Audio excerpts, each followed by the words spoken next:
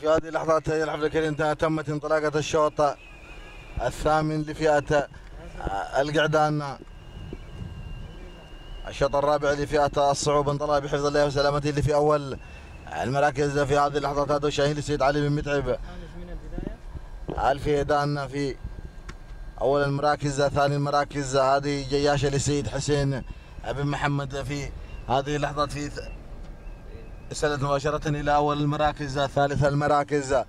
هذه سلهود هذه سلهود للسيد هذا هو سلهود هذا هو سلهود يا الحفل الكريم يدعو مكية سلهود للسيد محمد بن علي أبو شريدة. أما اللي في أول المراكز هو جياش. يدعو مكية جياش للسيد حسين بن محمد في أول المراكز ثاني المراكز.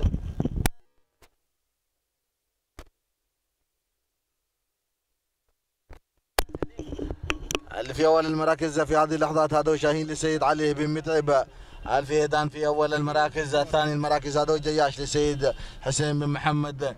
في أول في ثاني المراكز ثالث المراكز واصل الشهم للسيد محمد بن سعيد بن قحيز المري مع الشهم. ولكن حتى هذه اللحظة الشاهين للسيد علي بن متعب الفيدان ولكن الشهم واصل والشهم هذا الشهم الحفل الكريم. يحاول أن يتسلل لانتزاع المركز الأول. تعود مكية الشهم للسيد محمد بن سعيد بن حيز المري مع الشهم في أول المراكز نقول تهانينا والناموس على فوز الشهم بالمركز الأول السيد محمد بن سعيد بن حيز المري. أما اللي في ثاني المراكز وصل شاهين للسيد علي بن مطعب ألف هيدان وثالث المراكز شاهين للسيد سالم بن حمد. اتم التوقيت الزمني لهذا الشوط.